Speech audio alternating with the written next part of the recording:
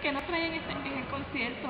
¿Y por qué para enamorar? No puede ser para gente que no esté enamorada. Ah, yo no sé, yo me inventé eso. Aunque todos estamos enamorados. Yo me inventé de la eso. ¿no? No, pero hay un montón de gente que lo que están es desenamorados y, y esos son los que y vienen y lo llenan. Bueno, tú sabes, este corazón es roto, sí. Sí, fíjate.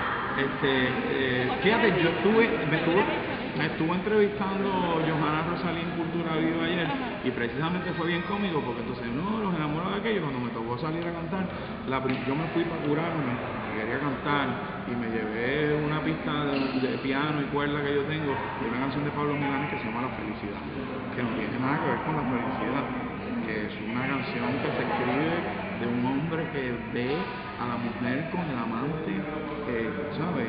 Y, y pondera, tú sabes, la naturaleza de eso. Y yo le digo a Johanna, pues fíjate Johanna, Miren, interesante. Nosotros siempre hablamos del amor y nos enamoramos de las cosas. Yo creo que dentro del microcosmos del amor y el universo del amor hay más desamor eh, que amor. ¿Entiendes? Y si tú te sientas y lo mires, es que lo que pasa es que la gran mayoría de las cosas que mueven eh, al ser humano, es lo que tú me estabas preguntando ahorita, es el antagonismo. O sea, ¿entiendes? Eh, si no hay derecha, no hay izquierda. ¿Entiendes?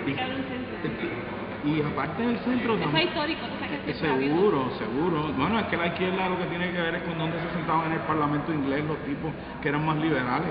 Eso es lo que quiere decir la izquierda. Pero, anyway, lo que te quiero decir es que el antagonismo, o sea, el desamor, el, el tener el corazón partido, tú, básicamente yo te garantizo a ti que hay más canciones y más emociones escritas para el uso del despecho y el dolor y la separación y la pérdida que para celebrar la alegría y la felicidad.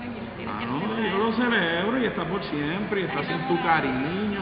Pues yo esposa maravillosa y tengo cuatro hijas bellas y tú sabes, yo, si tú fueras una fan mía y tú pagaras chavo para irme a ver un teatro y yo cantara un montón de canciones nuevas y te cantara tres o cuatro éxitos, ¿qué tú dirías? ¿Qué pasó?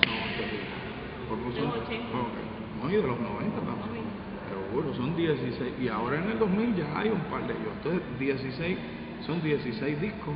Ponle tres canciones por disco, pues son casi como 40 temas que yo podría ¿Vas a cantar. cantar 40 No, temas? pero lo que te quiero decir es que puedo cantarlos en el Coliseo Cante 33. ¿Y cuándo?